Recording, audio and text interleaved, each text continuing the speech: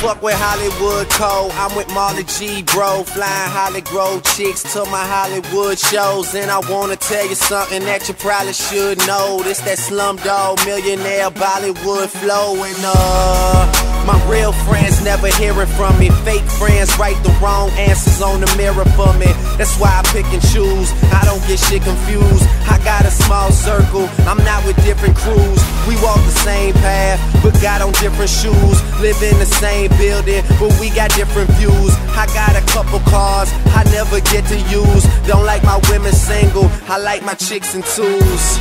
And these days, all the girls is down the road. I hit the strip club and all them bitches find a pole. Plus, I've been sipping, so this shit is moving kinda slow. Just tell my girl to tell a friend that it's time to go.